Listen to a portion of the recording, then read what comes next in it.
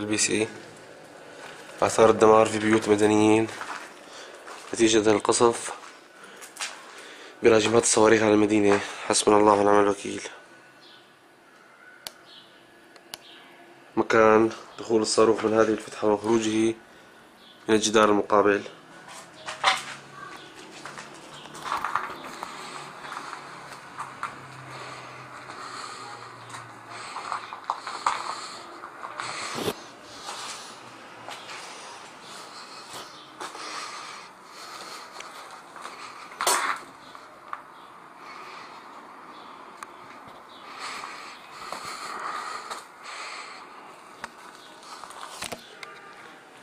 حسبنا الله ونعم الوكيل.